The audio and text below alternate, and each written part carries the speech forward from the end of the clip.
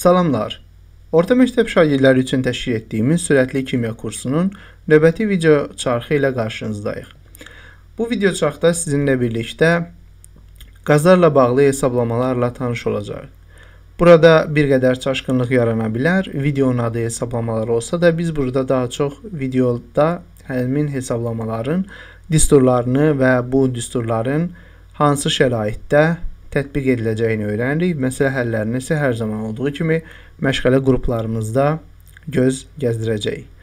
Bu mövzumuzda öyrənə biləcəyimiz alt başlıqlar sıxlığın molar kütlə ilə ifadəsi, nisbi sıxlıq, havaya görə nisbi sıxlıq, hidrogenə görə nisbi sıxlıq, qazlar üçün həcm payı, qaz qarışığının orta molar kütləsinin tapılması, orta molar kütlə üçün yuxarı və aşağı hədd anlayışları, qaz qarışığının sıxlığının dəyişmə səbəbləri və məsələ həllində istifadə edə biləcəyiniz bəzi düsturlarımız var. İlk öncə istərsəniz sıxlığın molar kütlə ilə ifadəsindən başlayaq. Keçən dərsimizdə sıxlığı molar kütlə ilə ifadə etmək üçün buna bənzər bir düstur nəzərdən keçirmişdik. Bu sadə sıxlıq düsturu idi. Rho bərabərdir m bölünsün v və həmin sadə sıxlıq düsturunda m-i 1 e, mol qaz üçün molar kütlə ilə əvəz etdik, v-ni isə v molar, yəni molar həcm ilə əvəz etdik və düstur dəyişildi. Sonra v-min yerinə 22.4 qoyduğumuz zaman m bölünsün 22.4 alınır və burada m-in yerinə, yəni molar kütlənin yerinə moldakı hissəciklərin sayını moldakı hissəciklərin kütləsinə vuraraq bir ifadə əlavə etdiyimiz zaman ümumi şəkildə düstur dəyişir. Rho bərabərdir m0 vurulsun na bölünsün 22,4 şəklinə düşür. Bu bizə çox faydalıdır. Niyə? Çünki bundan istifadə edib sonradan siz m0 bərabərdir rho vurulsun 22,4 bölünsün na yaza bilirsiniz. Bu nədir? Burada dediyimiz kimi m0 qazın içərisində olan bir molekulun kütləsidir. Məsələn, təsəvvür edin ki, bu qaz heliumdursa, bu zaman M0 helium atomunun kütləsini ifadə edir. Əgər bu qaz tutaq ki, karbon qazıdırsa, bu zaman M0 CO2-nin molekul kütləsini ifadə edir. Özdəki həmin M0 niyə M0 yazıldı? Çünki bilirsiniz ki, həmin ə, qram 10 üstü 24'lər və ya 10 üstü 27'lər səviyyəsində olan ölçülərdir. Yəni 10 üstü 24 qramlar və 10 üstü mənfi 27 kiloqramlar. Bu şəkildə bir ölçü aparmağa imkan verir bu düstur və bu düsturun köməyi ilə siz qarışığın, qarışıq deməyək, qazın bir molekulunun kütləsini hesablaya bilirsiniz. Bunun üçün M0 bərabərdir. Ora vurulsun 22.4 bölünsün NA düsturu sizə lazım olan düsturdur. Bu mövzuda düsturlar bir qədər çoxdur. Ümid eləyirəm ki, darıxdırıcı olmayacaq. Nisbi sıxlıq anlayışı var növbədə. Baxın, tərifdə deyilir ki, bir qazın digər qazdan neçə dəfə ağır olduğunu göstərən kəmiyyətə birinci qazın ikinci qaza görə nisbi sıxlığı deyilir. Baxın, deyir ki, bir qaz digər qazdan nə qədər ağırdır. Yəni, bunu hesablamaq, nisbi sıxlığı tapmaq deməkdir. Nisbi sıxlıq əslində düstur belə başlayır. D hərfi ilə işarə edirlər nisbi sıxlığı. Rho1 böl Rho2 bilirsiniz birinci qazın sıxlığının ikinci qazın sıxlığına olan nisbətidir. Burada Rho-nun hər birinin yerinə az öncəki düsturdan M böl V qoysaq, bu zaman Rho1 yerində M1 böl V M. VM niyə? Çünki VM eynidir. İkisi üçün də VM-in qiyməti sabitdir və 22.4 litrdir. Və bu kəsiri bölməlisiniz M2 bölünsün VM-ə. Buradan da gördüyünüz kimi M1 bölünsün VM vurulsun VM bölünsün M2, yəni tərsinə vurursunuz kəsrlərin bölünmə qaydasına görə. VM-lər aydın məsələdir ki, burada ixtisar olur və ə, e, qalır M1 böl M2. Yəni dolayısıyla D nisbi sıxlıq əslində elə molar kütlələrin bir-birinə nisbətidir. Yəni biz də məsələ həllərində əsasən bu son variantından bu düsturun istifadə edəcəyik. Yəni D bərabərdir həm ρ1 böl ρ2 istifadə edə bilərsiniz, həm də M1 böl M2. Bir sadə misal üzərində işləyək. Azotun heliuma görə nisbi sıxlığını tapmağımızı istəyir. Burada bir şey yadınıza salmaq istəyirəm. Baxın, azotun heliuma son şəkilçilərə fikir verək. Azotun heliuma hansı deməli sizdə A şəkilçisi ilə bitirsə, sonu A şəkilçisi ilə bitirilsə, onu aşağı yazırsınız. Yəni kəsrin aşağısına. Azotun heliuma deyirsə, aşağı yazılan A hərflərini özüm vurğu eləyirəm burada. Aşağı yazılan nə olacaq? Helium olacaq. Hesablamaya başlayaq. Azotun molar kütləsi e, belə deyək 28-dir. Orada qram bölmolu yazmamışam. E, heliumun üçüncü nisbi e, molar kütlə 4-ə bərabərdir və hesablama aparaq. D helium bərabərdir. M azot bölünsün M helium o da bərabərdir 28 böl 4. Buradan da 7 almış oluruq. Və bu 7-ni almaq əslində nə deməkdir? Nə ifadə edir bu? Deməli, eyni şəraitdə eyni həcmdəki azot heliumdan 7 dəfə ağırdır. Və bunu da ifadə edir. Yəni nisbi sıxlığın təməl e, belə deyək də məğzi məntiqi odur ki, eyni şəraitdə, eyni həcmdəki azot heliumdan 7 dəfə ağırdır. Qayıdaq yuxarıdakı tərifə. Baxın, deyir bir qazın digər qazdan neçə dəfə ağır olduğunu göstərən kəmiyyət nisbi sıxlıqdır. Fikir verdinizmi? Axırda nəticədə aldıq ki, azot qazı helium qazından tam 7 dəfə ağır imiş və nisbi sıxlığın tərifi özünü doğrultdu. Növbəti bizdə havaya və hidrogenə görə nisbi sıxlıq anlayışları var. Havaya görə nisbi sıxlığı e, tapmaq üçün öncə havanın orta molar kütləsinin 29 olduğunu bilmək lazımdır. Çünki hava e, saf maddə deyil, hava qarışıqdır. Hava üçün e, orta molar kütlə hesablanıb və bunun qiyməti 29-a bərabər götürülür. Siz də məsələ həllərində hava dediyi zaman 29-u istifadə edəcəksiniz. Və davam edirik. Burada gördüyünüz kimi D hava bərabərdir. Yəni havaya görə nisbi sıxlıq bərabərdir. mx hansısa bir qaz ola bilər mx yerində bölünsün 29. Bəs hidrogenə görə nisbi sıxlıq deyəndə aydın məsələdir ki, D H2 bərabərdir mx bölünsün mh2. mh2 də özünüz bilirsiniz ki, yəni 2-dir. Buradan ə, e, d bərabərdir mx. Məsələn, hansı qazlısa, onu indi özünüz qərar verirsiniz. Məsələ həllində onun ə, e, molar kütləsini hidrogenin molar kütləsinə, yəni 2-yə bölmək lazımdır. Ə, e, sizin üçün kommentə yazmağınız üçün bir balaca bir sualımız var. Bunu zəhmət olmasa tez zamanda yerinə yetirib komment hissəsinə yazın və sonra videonu davam elətdirin. Sonra komment hissəsinə mən münasibət bildirəcəm bu sualın cavabına. Oksigenin hidrogenə görə nisbi sıxlığını hesablamaq təklif edilir. Baxın, hidrogenə görə nisbi sıxlıq dediyi üçün bu tərəfdəki düsturu istifadə edəcəksiniz. Bu düsturu və e, oksigen qazı deyir və x-in yerində də nə olacağını artıq məncə bilirsiniz. Özünüzü yoxlayın, inşallah ki, cavabınız düzgün olar. Və növbəti bizim burada qazlar üçün həcm payı var. Qazlar üçün həcm payı nə deməkdir? Qazın qarışıqdakı tutduğu həcmə deyirik. Qazlar üçün həcm payı.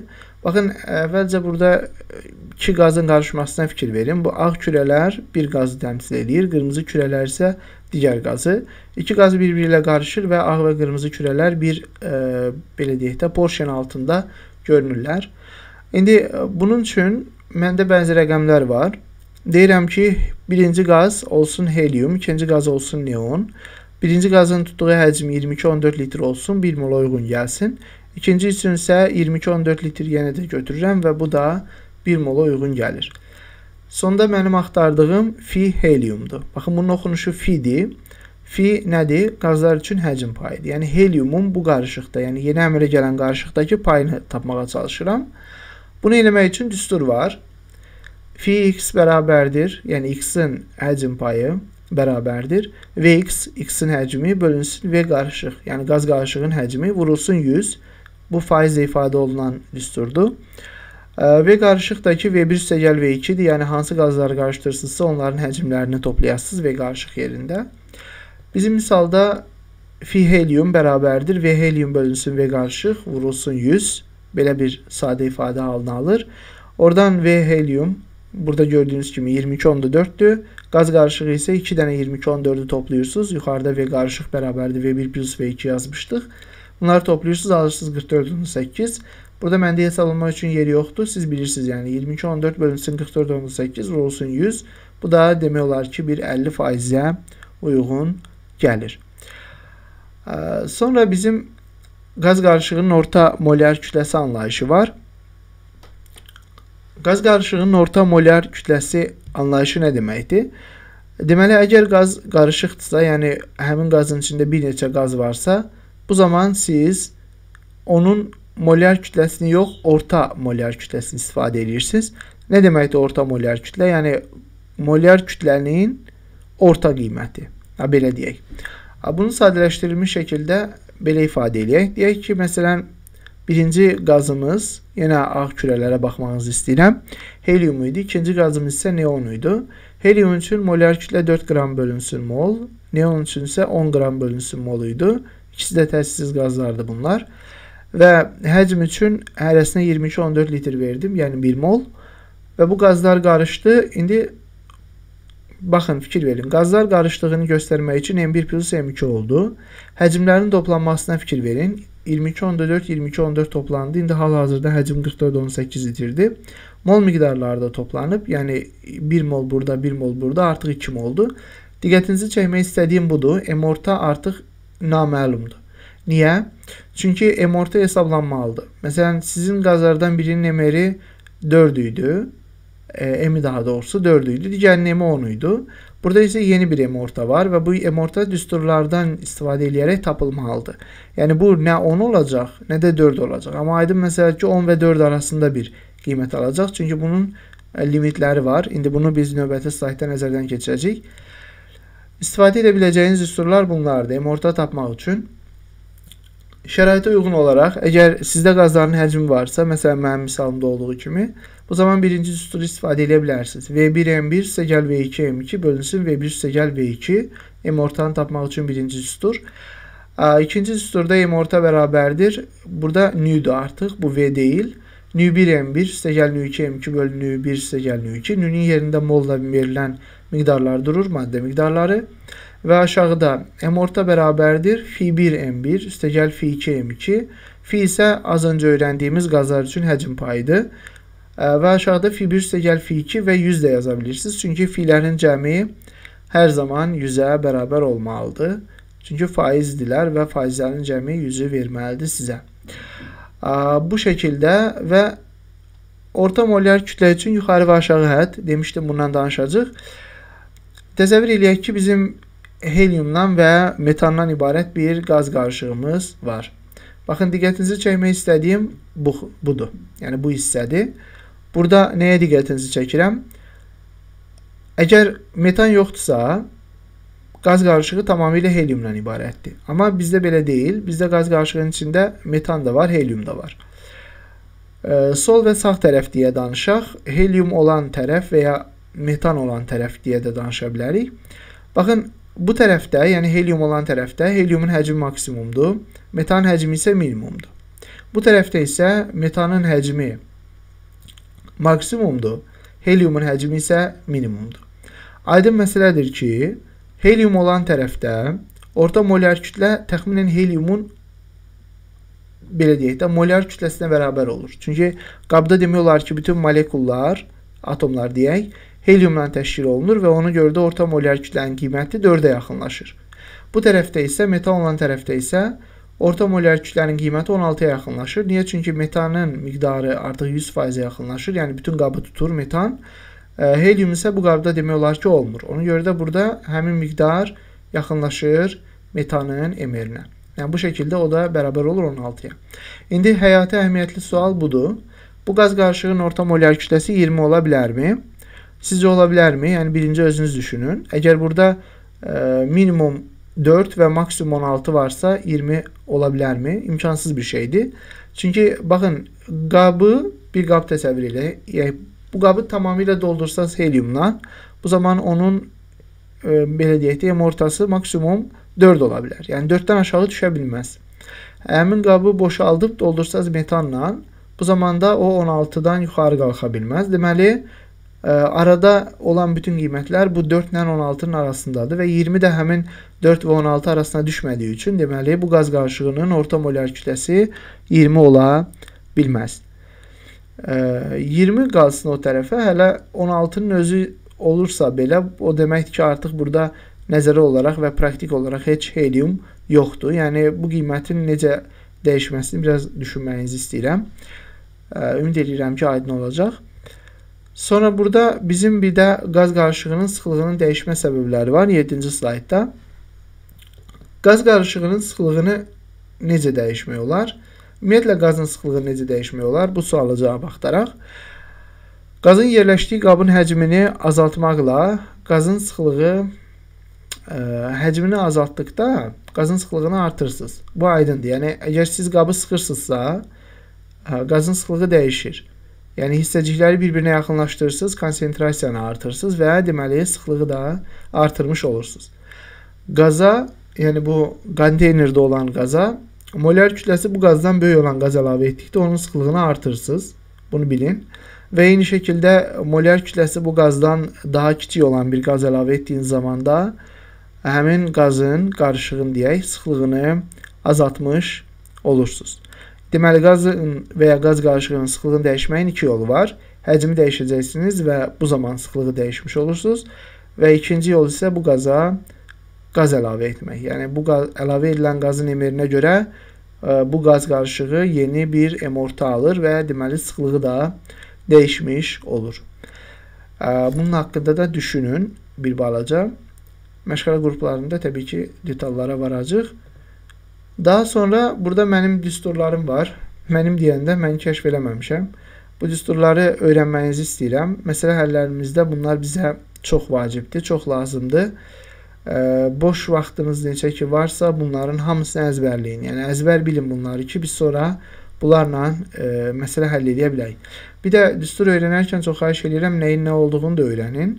Yəni düstur hazır beyninizdə var, amma düstur işləmir. Niyə işləmir? Çünki içəridə nə nədir bilmirik. Məsəl üçün fi nədir? Vx nədir? V qarışıq nədir? Niyə V1, V2 toplanır? Əgər 3 qaz olsa nə edəcəydiniz? Belə şeylərə fikir verin. Sual içindən sual çıxarın və özünüzü ə, təkmilləşdirin və hazırlaşdırın. Və bu da ə, video dərsin sonu. Nə etmək lazımdır bilirsiniz videonu izlədikdən sonra. Bir dənə zəhmət olmasa bəyənmə tuşuna aşağıdan basın və bəyənilmiş olsun video. Sizin kimi kimi heyranları da bu videonu tapıb izləsin. Paylaşmaq əgər vacib hesab edirsinizsə paylaşın öz dostlarınızda və ya kimlənsə. Bir də ki, komment sahəsinə bayaq verdiyim sualın cavabını əgər yazmamısınızsa, onu yazın. Bu qədər. Bir də digər videolardan fərqli olaraq bu videonun sonunda bizim quizimiz var. Bundan sonraki hər videomuzun altında belə bir quiz olacaq, bunu demişdim. Quizin içərisində 10 dənə sual var, onu da cavablandırın və cavablar sonra özü yoxlanılır. Siz öz nəticənizi bilirsiniz. Məsləhətim belədir ki, nəticəniz 80%-dən aşağıdırsa video çarxı bir də izləyin və testi bir daha həll eləyin. Bu belə. Növbəti də ki, sosial media hesablarımızdır. QR kodları var burada. Mənim burada dəyişməli olduğum bir şey var, onu da görürəm. Artıq 2020-ci ilə keçmişik. Bu arada yeni ilinizdən mübarək olsun. Bu videoda burada bitər. Təşəkkür edirəm. Sağ olun.